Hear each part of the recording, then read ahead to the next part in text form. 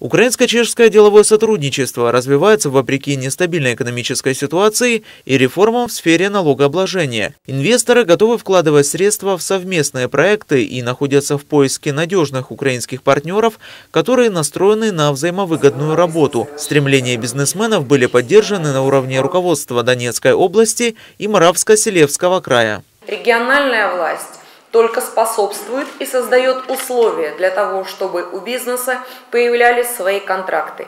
Мы будем стараться во всем вас поддерживать, мы будем стараться облегчить вход э, любого бизнеса из Чехословакии, э, особенно из региона, который сегодня у нас в гостях. Так что добро пожаловать, и я надеюсь на много хороших, обоюдовыгодных и, главное, полезных контрактов. Руководители и представители 14 предприятий Моравско-Силезского края готовы сотрудничать с украинским бизнесом в сфере электроэнергетики, машиностроения, транспорта и коммунального хозяйства.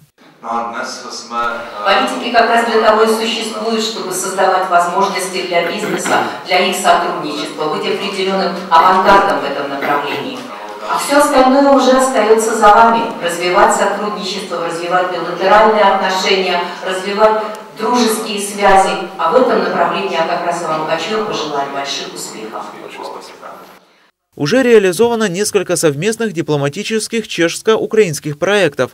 Подписан договор о сотрудничестве между городами Донецка и Острова, Донецкой торгово-промышленной палатой и их коллегами из Чехии. Успешно работает в городе Генеральное консульство Чешской Республики. Визит бизнес-миссии должен стать новым этапом в развитии двухсторонних отношений. Чешские предприниматели готовы принимать участие в реконструкции украинских металлургических предприятий, шахт, поставлять трамваи, троллейбусы и транспортное оборудование. Интересуются поставками сырья, древесины и топливных материалов. Договор подписан. Теперь дело за развитием деловых связей и заключением взаимовыгодных контрактов. Ярослав Максимчук, Александр Караваев, Первый муниципальный.